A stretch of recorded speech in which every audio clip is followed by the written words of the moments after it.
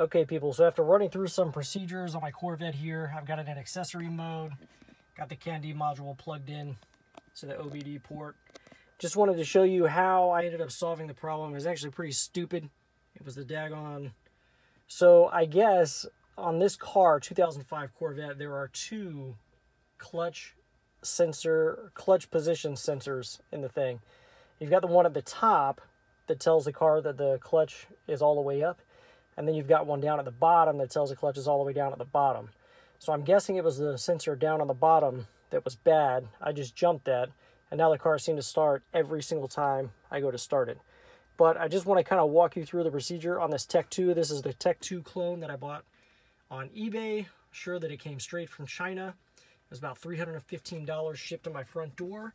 But if it saves me a trip to the dealer and the anxiety of the car sitting in the dealer's lot, the potential for some idiot to do something stupid and damage it or back a minivan up into it or something stupid like that, well worth the price in my opinion. So this is how I went ahead and diag diagnosed the issue. I came in, I went to diagnostics, scroll down to my year, I've got a 2005,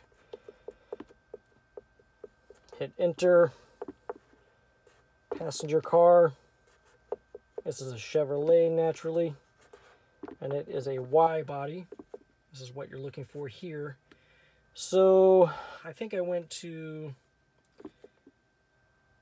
um, no, not that. I went into engine, I believe. Press enter. Engine, is engine controls or engine electrical? Special function engine control module.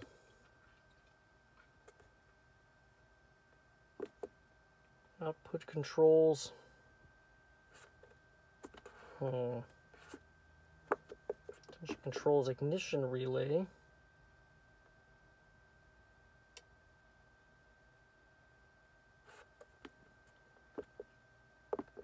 Let's see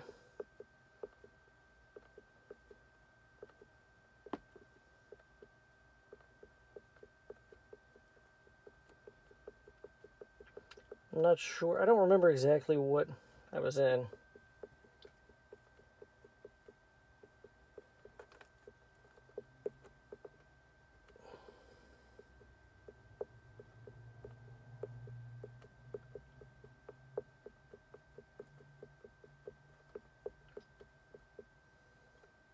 Okay, so this is what kind of threw me off. My ignition one ignition one signal was at zero volts.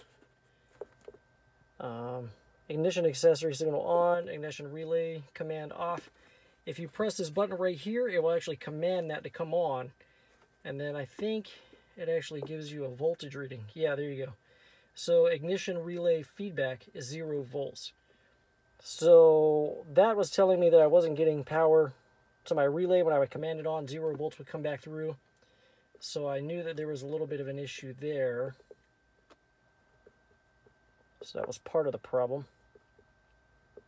Okay, so we're back to the beginning. So I backed back out. Hmm, where did I go from there?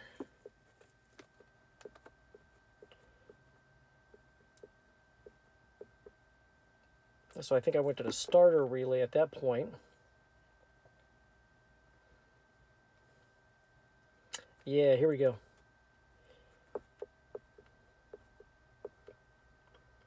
So it was telling my clutch start switch was released. So I was like, hmm, let me see what's going on with that.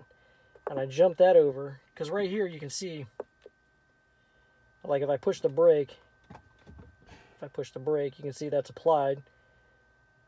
The brake pedal circuit signal. let go of it, apply it, let go of it. So I was like, hmm, that's interesting. So I went ahead and jumped that over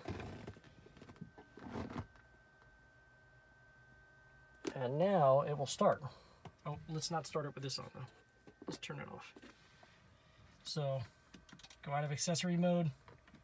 And boom, there we go.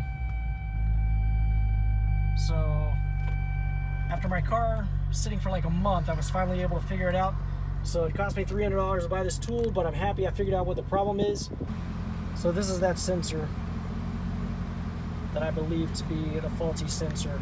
It is the sensor that kind of shows that it's all the way fully depressed when you've got the clutch in. The clutch contacts it right here, pushes it all the way in. So it kind of stinks I had to buy this tool to figure that out, but I'm glad I didn't have to take it to the dealer.